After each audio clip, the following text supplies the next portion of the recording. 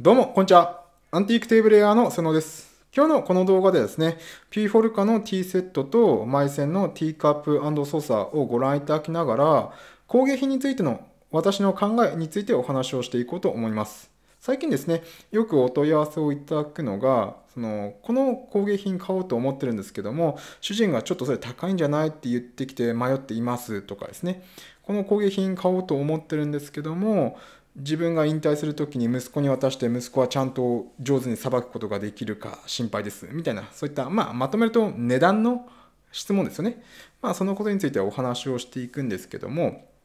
根本的にですねちょっと現代風に考え方を改めた方がいいのかなというふうな部分があるんでそこを解説するんですけどもまずですねこの工芸品っていうのはどんどんどんどん右肩上がりで値段が上がっていくものではないんですよね。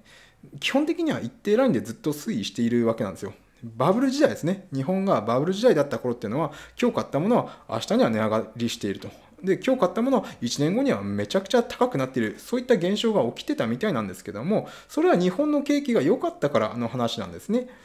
みんながその嗜好品とかにいけるお金があったわけなんですよ。俺も欲しい、私も欲しい、俺も欲しい、私も欲しいっていう風になっていって、どんどんどんどん値段が上がっていったわけなんですね。でも、現代はやっぱりそのみんながそこまで行きつける余裕ってないんですよね。だから、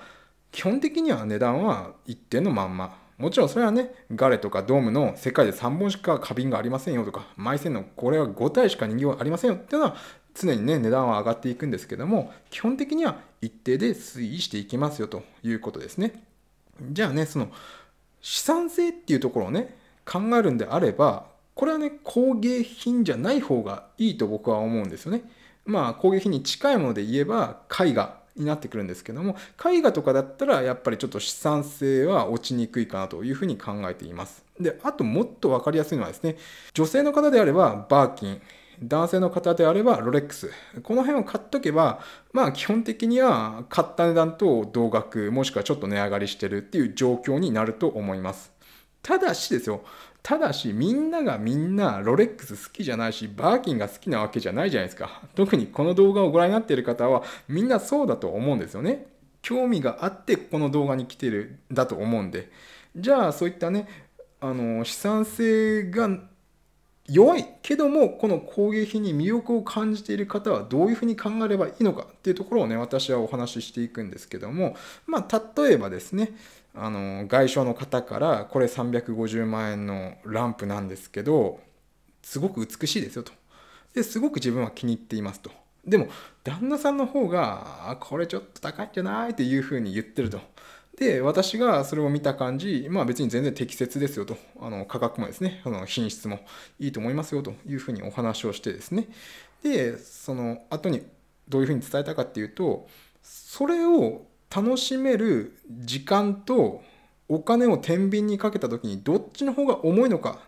それが大事ですよと。いうふうに話したんですね。これどういうことかって言いますと、まあ、60歳で買ったとして、80歳まで鑑賞できましたと。で、その時に、80歳の時に売ったら、まあ、買い値の半額になってしまいましたと。じゃあ、170万ってことにしましょうかね。で、その時の170万円を、うわ、損したなっていうふうに思うのか、いや、でもこの20年の中で、この日々の生活を充実させてくれた、潤いを与えてくれた、これを見ることによって、本当ね、一日の中の10分とか1時間かもしれないんですけども、そうすることによって、よし、明日、明日から頑張ろうって思えるようになれたとか、心が安らいだとか、そういう風な気持ちになれた、そういう時間を全部トータルしたときに、170万円以上の価値があれば、それは買ってよかったっていう風になるわけなんですね。だから、金額とか値段とか資産だけで見ればそれは工芸品っていうのは全然もうロレックスとかバーキンにはかないませんよ。でもやっぱりそこじゃないんですよ。この嗜好品とかね花瓶とか人形とかっていうのは。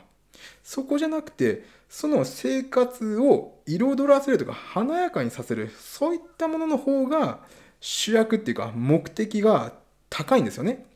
まあそういった感じでですね。工芸品を買う際っていうのはまず資産がどうとかってのを外して自分の心の持ち方ですね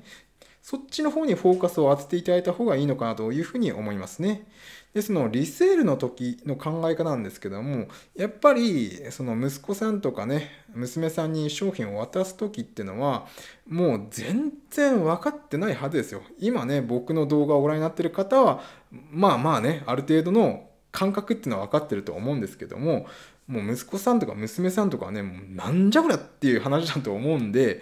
これはですね、やっぱある程度、ここで買ったよとかね、あと、どれぐらい素晴らしいものなのかっていうのを事前に話しておく。それはもうほんとちょっとの時間でいいと思うんですよね。あの、息子さんが帰省してきて、家にいる時間っていうのもすごく短いと思うんですよ。その中で、まあ、この作品なんだけど、つって、まあ、ちょいちょいね、解説してやることによって、で、最後にですね、とても大切な商品だから、大事に残しておいてほしいな、みたいな。で、あんたがね、もうちょっと大きくなった時に、本当に手放さないといけない時に手放してくれるんだったら、私はそれでいいと思うよっていうような感じでいいと思うんですよね。まあ僕がですね、その、その状況になっていないんで、実際のリアルな気持ちっていうのは、やっぱりお客さんとの帰りは結構出てると思うんですけども、やっぱり先のことを考えていくとですね、なかなかこう、買おうっていう決心につながりにくいと思うんで、まず自分がどう感じたいかっていうところが一番大事だと思うんですよね。この商品を自分が欲しいと思って購入して、そして実際に購入して眺めていて、ああ、いい気分だなと、ずっとこれ見ていたいなって思えるような状態になっているんであれば、別にね、そこまでその後のことっていうのは、今は深く考える必要はないんじゃないのかなというふうに僕は考えております。ということですね、今日はこの攻撃についての考え方についてお話しさせていただいたんですけども、うん、まあなんとなく言ってることは分かった、参考になりました、的な感じになった方はですね、ぜひともいいねとかチャンネル登録いただけると嬉しいなというふうに思います。それではまた。